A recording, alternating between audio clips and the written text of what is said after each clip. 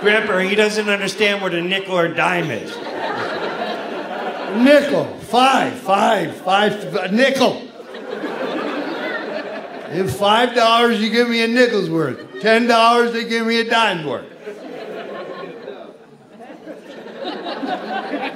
There were three of us. We usually split the nickel.